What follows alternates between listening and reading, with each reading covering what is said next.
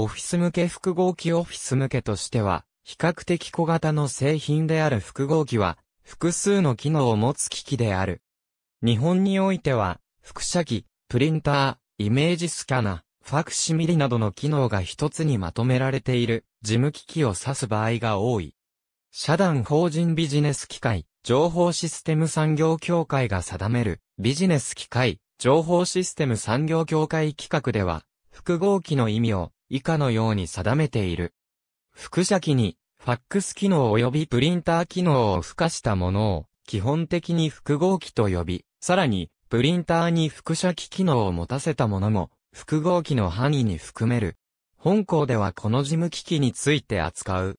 複写機、プリンターイメージスキャナファクシミリなどの事務機器の機能を一つの筐体に収めたものである。画像データのデジタル処理化に伴って製品化が可能となった。そのため、デジタル複合機や複合プリンタと呼ばれることも多い。略語として MFP、MFD、AIO と呼ばれることもある。また、次のようなことを行えるものも多い。近年では、さらに高機能化が進み、特にオフィス向け大型製品において、複雑な機能を持つものがある。例えば、といったものがある。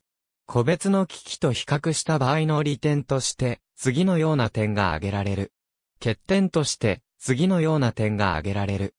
大型のデジタル複写機に、ファクシミリや LAN の機能を拡張ボードの形で追加したものは、事務所向けとして導入されることが多い。また、2000年代に入りカラーのものも、価格の低下に伴って導入が増えている。また、ポッドサービスを手掛ける印刷会社向けに、高速で、製本機能が充実した超大型機が、各社から発売されている。高価であるため、OA 機器反射によるリースでの導入が多い。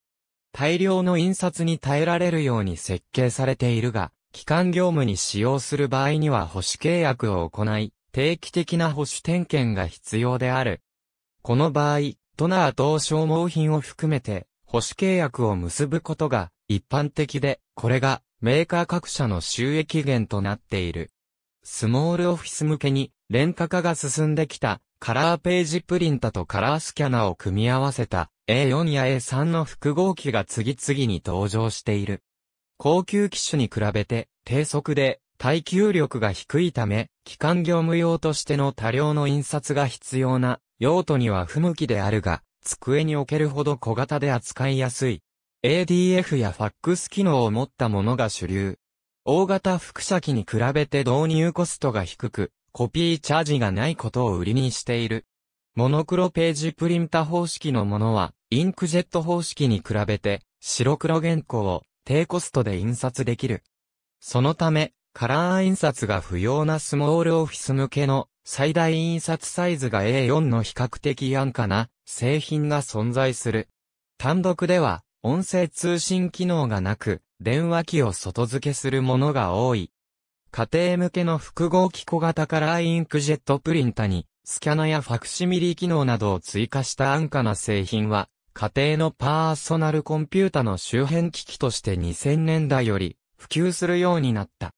最大印刷サイズが A4 のものがほとんどである。